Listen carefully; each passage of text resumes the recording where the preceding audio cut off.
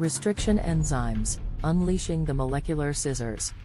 In the realm of molecular biology, few tools have been as transformative and indispensable as restriction enzymes. These remarkable biomolecules, also known as restriction endonucleases, are the molecular scissors that play a pivotal role in genetic engineering, DNA analysis, and various other biotechnological applications. Discovered in the 1960s, restriction enzymes have revolutionized our ability to manipulate and study DNA, fundamentally altering the landscape of biological research and advancing fields from medicine to agriculture. Restriction enzymes were first discovered in the late 1960s by molecular biologists Werner Arber, Daniel Nathans, and Hamilton O. Smith.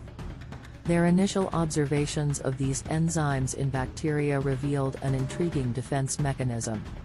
Bacteria produce these enzymes as a means of protection against invading foreign DNA, such as that of bacteriophages, by cleaving the foreign DNA into smaller fragments. The mechanism of action of restriction enzymes is elegant in its simplicity. These enzymes recognize specific DNA sequences, known as recognition sites, which are typically palindromic sequences, sequences that read the same forwards and backwards. Once a restriction enzyme encounters its recognition site, it binds to the DNA and catalyzes the hydrolysis of the phosphodiester bonds in the sugar phosphate backbone, effectively cutting the DNA molecule into fragments. The ability to cut DNA at precise locations using restriction enzymes has transformed genetic engineering.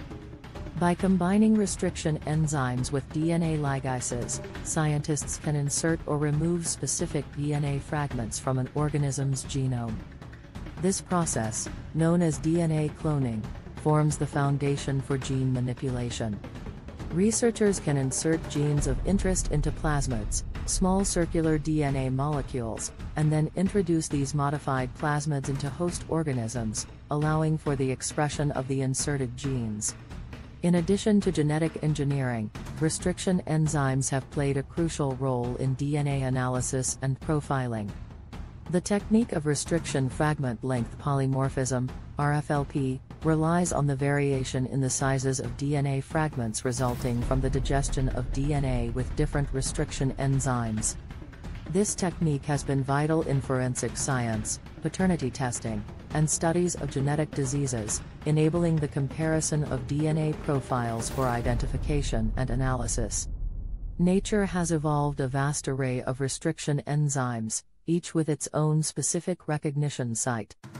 This diversity is a testament to the complex interplay between bacteria and their environment. Scientists have harnessed this natural diversity to develop a plethora of useful tools, such as isoschizomers, enzymes that recognize the same DNA sequence, and neoschizomers, enzymes that recognize similar but not identical sequences. These are expanding the range of applications in which restriction enzymes can be employed. While restriction enzymes have undoubtedly been a revolutionary tool, they are not without limitations. For instance, their recognition sites can be relatively short, leading to a limited number of target sites in a given DNA sequence. This can complicate the design and execution of certain genetic engineering strategies. However, Advances in molecular biology have led to the development of more versatile techniques, such as site-directed mutagenesis and CRISPR-Cas9, which offer precise gene editing capabilities and overcome some of these limitations.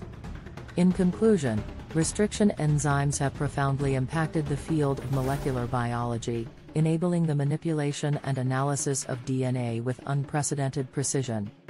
Their discovery and application have catalyzed advancements in genetic engineering, DNA analysis, and various biotechnological pursuits. As our understanding of genetics and molecular biology continues to evolve, so too will the ways in which restriction enzymes are utilized, paving the way for even greater breakthroughs in science and medicine. Thanks for watching this video. Remember to like and share our videos, and leave your comments below. We'd love to hear from you.